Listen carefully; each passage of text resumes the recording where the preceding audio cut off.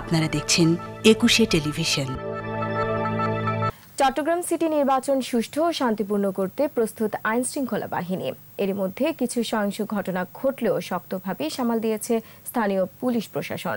ভোটের আগে নগরের প্রতিটি মোড়ে বসবে তল্লাশি চৌকি। ইরফাজ নূরের ক্যামেরায় একরামুল হকের রিপোর্ট জানাচ্ছেন সমর ইসলাম।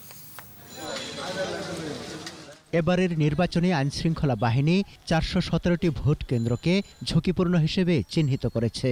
কেন্দ্রগুলোর আশপাশের এলাকায় কয়েকদিন ধরেই চলছে block raid. Block raid checkpost এবং বিভিন্ন মোটরসাইকেল সিএনজি মাইক্রোবাস এগুলো যেন নাশকতার কাজে ব্যবহৃত না হতে পারে। সাতাশ জানুয়ারির সিটি নির্বাচনে নাশকতার আশঙ্কা আছে পুলিশ প্রশাসনের। গোয়েন্দা তথ্যের ভিত্তিতে নগরের নিরাপত্তা ব্যবস্থা সাজানো হচ্ছে। প্রতিটি ওয়ার্ডে আমরা দুটি করে মোবাইল টিম থাকবে। প্রতিটি থানায় একটি করে স্ট্রাইকিং টিম থাকবে।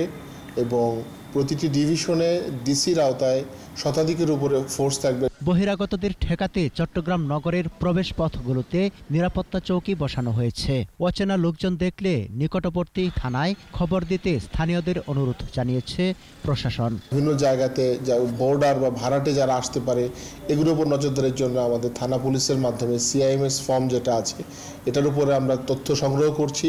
পুলিশ দলমত নির্বিশেষে সব প্রার্থীর অভিযোগ আমলে নিচ্ছে তদন্ত করে ব্যবস্থা নিচ্ছে।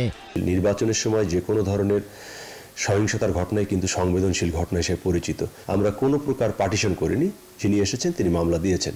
ভোট নিয়ে এবার প্রার্থীদের মাঝে ব্যাপক আগ্রহ। শান্তিপূর্ণ ভোট গ্রহণে আইন শৃঙ্খলা বাহিনী সতর্ক অবস্থানে থাকবে বলে আশ্বস্ত করছে পুলিশ প্রশাসন।